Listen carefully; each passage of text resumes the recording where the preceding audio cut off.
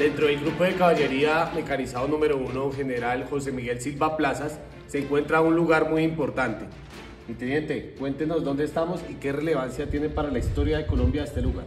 Bueno, eh, donde nos encontramos es un lugar significativo para la historia de nuestro país, la historia de nuestro glorioso Ejército Nacional. Esta casa es eh, la casa del Mayorazgo de San Lorenzo, más conocida como la Casa de Onza. Para el año 2019 fue declarada bien de interés cultural, eso quiere decir que su arquitectura o su fachada no puede ser modificada, Ok. que tiene que resguardar esos, esos, eh, esa proyección histórica que tiene esta casa. En esta casa funcionó el cuartel general del general Simón Bolívar. Aquí pues planeó la estrategia, aquí se desplegó hacia el pantano de Vargas, Sí. donde pues logró salir avante y regresar nuevamente acá. Esta casa también sirvió como lugar de entrenamiento, también como lugar de,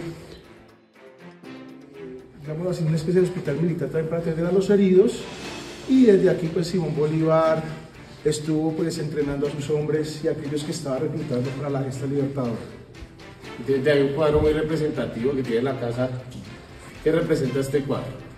Este cuadro tiene una representación histórica importante. Aquí está eh, recreando la escena de los 14 lanceros en la batalla del puente de Boyacá y tenemos a, su, tenemos a, a la espalda de ellos la casa del mayorazgo de San Lorenzo. Esta casa es data desde la, desde la colonia, desde el mayorazgo de San Lorenzo.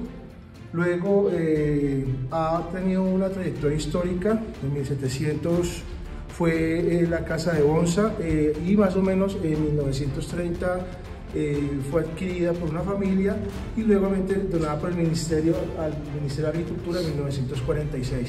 Hasta el día de hoy tenemos que después posteriormente fue cedida al Ejército Nacional. Aquí funcionó también la escuela el criadero y otros eh, elementos importantes para el Ejército Nacional.